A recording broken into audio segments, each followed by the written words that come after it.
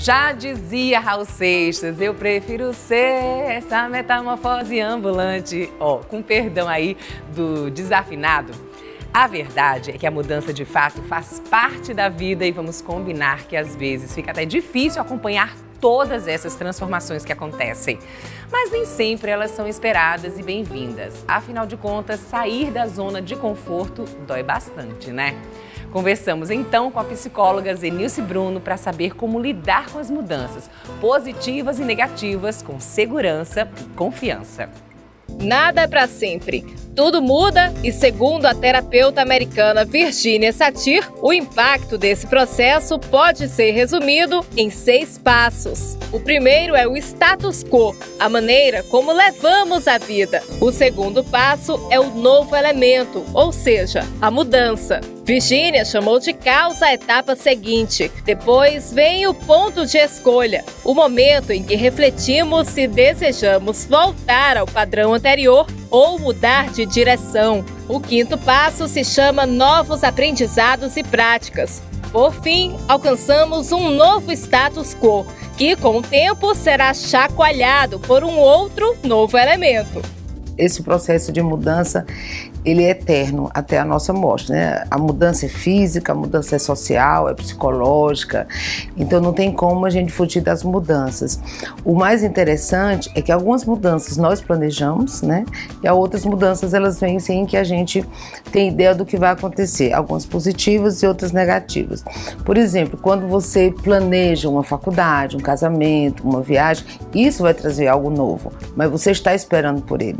Né? E mesmo assim, às vezes as pessoas têm dificuldade de lidar até com o novo que é positivo. Quando você na realidade não planeja, como uma morte, muitas vezes uma transferência, um desemprego, né, uma falência ou algo desse tipo negativo, você pensa que é o caos. Por quê? Porque você não sabe lidar. Como é que eu vou fazer agora? Toda mudança, ela causa assim um certo impacto. É, sempre acontece alguma coisa negativa, a gente fica com raiva na hora, fica estressada, mas depois passa e vem uma coisa melhor, né, para substituir. Eu sempre penso assim, sempre pensando positivo. Mudar nem sempre é fácil, mas quase sempre é positivo. Eu lido com uma certa cautela por causa da idade, né? Eu acho que os jovens hoje, eles são mais abertos para essas mudanças.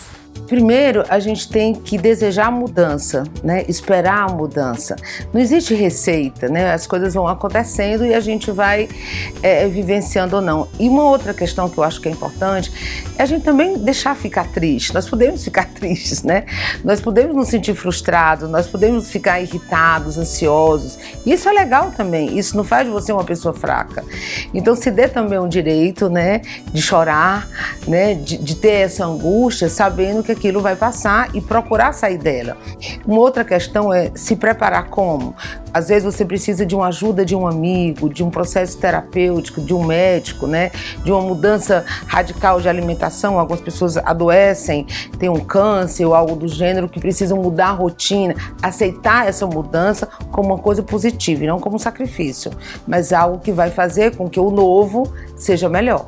Para a psicóloga, graças às mudanças, crescemos, evoluímos e nos mantemos motivados com as experiências. É, na realidade, essa história da mudança também é, é, muito contraditório, porque viver sem nenhuma novidade é um saco, né? Então, não haver novidade, não ter situações diferenciadas, fazem com que a gente vá perdendo esse estímulo de viver. Né? Porque o, o que é que é interessante? É você também saber que alguma coisa pode acontecer a qualquer momento. Então vamos ver a mudança como uma coisa positiva. E agora, como é que eu vou sair dessa, né? E agora, como é que eu vou enfrentar isso? Como é que vai ser minha vida nova? Então pensar o diferente. E tem um, um, um pensamento até budista que eu gosto muito que diz assim: os piores momentos da minha vida nunca existiram. Então, quando a gente pensa muito negativamente, a gente vê imagens que não são reais. Mas eu, eu, acho que a coisa mais legal é a gente estar aberto às novidades, entrar nas novidades e fazer as nossas escolhas. Conhecer o novo não significa que eu vou ficar lá, né? Mas eu devo conhecer para depois eu decidir se eu fico ou eu vou embora.